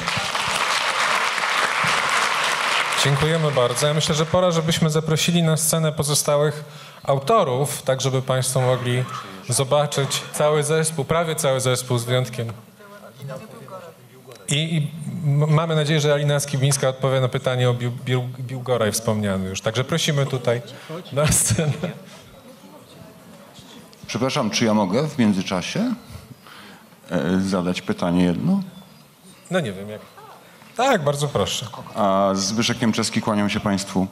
E, proszę Państwa, Państwo w tym szerokim badaniu historycznym, e, źródłowym przede wszystkim, e, mówicie o losach polskich Żydów e, na terenie tych dziewięciu powiatów. Moje pytanie brzmi następująco. Czy wśród, czy na, tych, na terenie tych powiatów zaobserwowali Państwo jakieś próby organizowania tych strategii przetrwania, czyli a, sposobu takiego współdziałania pomiędzy środowiskami, po- pomiędzy sąsiadami, które wskazywałyby na jakąś organizację prób organizowania strategii przetrwania? Dziękuję bardzo. Obawiam się, że całe to zamieszanie na scenie sprawiło, że nie bardzo, nie bardzo tutaj się autorzy skoncentrowali na, pan, na Pana pytaniu. Boję się, że trzeba będzie je powtórzyć, ale może, może wróćmy do tego Biłgoraju Dobrze, jeszcze. to ja skorzystam z zamieszania i odpowiem na to pytanie. E, To było jedno z wielkich pytań, które sobie stawiałam, e, biorąc się za te badania. Jak e, los w ogóle całej ludności powiatu wpłynął na szansę ratowania się Żydów. Bo e, trzeba pamiętać, że spośród wszystkich terenów polskich Zamojszczyzna ucierpiała najbardziej, a z całej Zamojszczyzny, z kilku powiatów, które w ten sposób nazywamy, najbardziej ucierpiał powiat e, biłgorajski. Najwięcej osób stamtąd wysiedlono, najwięcej wsi spa- spacyfikowano. Około 80 wsi, to jest na około 450 wsi, a, ogromny odsetek. Ja zresztą w swoim artykule podaję dane statystyczne do, dotyczące strat ludnościowych e, ludności etnicznie polskiej. E, Te dane są dosyć, dosyć szczegółowo em, ujęte w dokumentacji archiwalnej tuż powojennej i one pokazują, jak bardzo ten powiat ucierpiał i muszę powiedzieć, że odpowiedź jest zaskakująca. To znaczy ja nie znalazłam niemalże żadnych e, związków pomiędzy e, tymi faktami a szansami uratowania się Żydów. Jest jeszcze jeden krok do wykonania przeze mnie. To jest ogromnie żmudna praca i nie byłam jej w stanie przeprowadzić, to znaczy nanieść na mapę wszystkie te fakty dotyczące martyrologii ludności polskiej, nałożyć na, na tę mapę fakty związane z y, eksterminacją Żydów, z miejscami ich egzekucji, z tymi losami y, ponad tysiąca Żydów, o których y, wiem. I dopiero nałożenie tych, tych punktów y, może da odpowiedź, czy są jakieś, jakieś bezpośrednie związki. Natomiast faktem jest, że w dokumentacji Żydów, pozostawionej przez Żydów, nie ma prawie w ogóle informacji o tym, że były pacyfikacje i wysiedlenia ludności polskiej. Natomiast tam, gdzie te informacje się pojawiają, jest zaskakujące to, że one nie wpływają jakoś szczególnie negatywnie na, na los ukrywających się. Żydzi, podobnie jak ci, którzy ukrywali się na terenie Warszawy i wychodzili z Warszawy po powstaniu warszawskim z ludnością ewakuowaną tego miasta, oni y, jakby wtapiali się w tłum wysiedlany i nikt ich wówczas nie denuncjował. To może jeszcze raz to pytanie, na które nie padła odpowiedź, a które zostało niejako w międzyczasie zadane. Może zachciałby pan powtórzyć, nie wiem dokładnie gdzie. Zginął mikrofon, Nie, nie. ale już się Mam znalazł. nawet dwa, także... Jeśli można, to skorzystam tylko z jednego. E, Króciutko, Szanowni Państwo. Czy w toku badań zaobserwowali Państwo próby organizowania strategii przetrwania? Zarówno wśród ludności, wśród uciekinierów czy, czy, czy i, i sąsiadów i uciekinierów. Czy takie próby były w ogóle podejmowane? Tak, oczywiście. Były, były grupowe ucieczki, to jest, e, były, były planowane, były, gro, były gromadzone zasoby finansowe i rzeczowe u sąsiadów Polaków, prawda, którzy obiecywali później pomoc. To się czasem sprawdzało, czasem nie. Mamy też inne przykłady takich strategii przetrwania w powiecie bocheńskim przede wszystkim. e, Ucieczki za granicę bardzo od samego początku planowany i zorganizowany przemyt yy, i łańcuch osób pomagających przez Słowację na Węgry. Dziękuję. E, Ja chciałam powiedzieć o jeszcze jednym ważnym wątku, który e, chyba we wszystkich naszych artykułach się przewija, to znaczy pomoc Żydów Żydom, bo bardzo dużo mówi się o kontekście e, pomocy Polaków udzielanej Żydom, natomiast e, ten element pomocy sąsiedzkiej, pomocy rodzinnej, e, mm, przekazywania informacji, e, pomocy w zdobyciu jedzenia e, w, w obrębie społeczności żydowskiej jest niezwykle istotny. I tutaj jedna kwestia to są te ucieczki, które zresztą są tematem, który łączy powiat bocheński i powiat nowotarski. Ale druga kwestia to jest sprawa ukrywania się e, w mniejszych miejscowościach. I e, ja mogę opowiedzieć o Nowym Wiśniczu. To jest takie miasteczko e, na terenie powiatu bocheńskiego, gdzie już po likwidacji getta bocheńskiego działał Hilel Wodzisławski. To był syn miejscowych właścicieli szynku, który świetnie znał się ze wszystkimi miejscowymi e, gospodarzami, bo przed wojną przychodzili oni popijać e, w tymże szynku prowadzonym przez rodziców. I potem e, w okresie ukrywania się był w stanie wykorzystywać te swoje znajomości po to, żeby zapewnić do pewnego momentu jedzenie, schronienie dla siebie, ale także dla całej grupy Żydów ukrywających się tam. Niestety finał tej opowieści dla niego był taki, że został zabity przez jednego z miejscowych gospodarzy w 1943 roku. Ja myślę, że to już jest e, koniec tej części oficjalnej, ale zaraz będzie jeszcze szansa, żeby zadać indywidualnie pytania autorom, ponieważ teraz przeniesiemy No. się do foyer i tam podpisywanie A mogę jeszcze jedno? To może już naprawdę Komentarz. Dobrze? Ostatni. Ja chciałam tylko, nazywam się Hanna Pinkowska-Zielińska i chciałam Państwu serdecznie wszystkim podziękować i go, jakoś tak nie mam słów trochę wdzięczności za tą Państwa pracę, ale chciałam się odnieść do mechanizmu wyparcia i zaprzeczania. I też to, co pani profesor Engenklik mówiła, że to jest proces. Ja mam wrażenie, że on się zaczął i że my wszyscy w tym uczestniczymy i że to musi trwać i że to jest mechanizm obronny, który jest bardzo trudny do tego, żeby sobie z nim poradzić, ale służy on temu, żeby nie pamiętać i nie mieć kontaktu z bardzo trudnymi uczuciami. I jak to się dzieje na skalę taką zbiorową, to, co mamy, o czym tutaj było już mowa, to myślę, że jest jeszcze trudniejsze i wiele takich opracowań i debat i spotkań przed nami. Myślę, żebyśmy mogli przepracować naszą historię. To tyle mój głos. Dziękuję Państwu. Dziękujemy bardzo. To bardzo trafna puenta. Dziękujemy serdecznie i zapraszamy do foyer.